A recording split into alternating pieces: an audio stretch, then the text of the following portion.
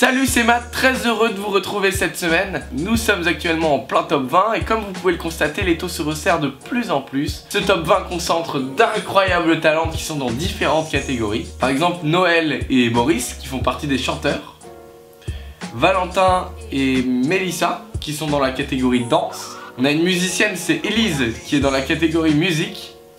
Kevin et Amélie sont des magiciens. Puis nous avons également euh, Shark Hypno dans la catégorie Hypno. Voilà, normal. Enfin bon, en bref, il vous reste de moins en moins de temps pour aller voter et pour choisir qui passera devant le jury de la France en incroyable talent. Bonne semaine, bon courage à tous les candidats et surtout à vos votes sur francedigitaltalent.com. Salut